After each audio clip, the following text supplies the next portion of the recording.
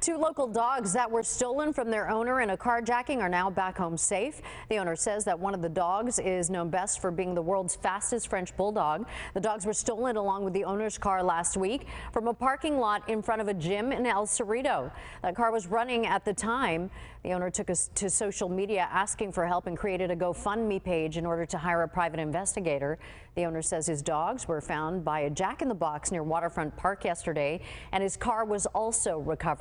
He also says that one person has been arrested.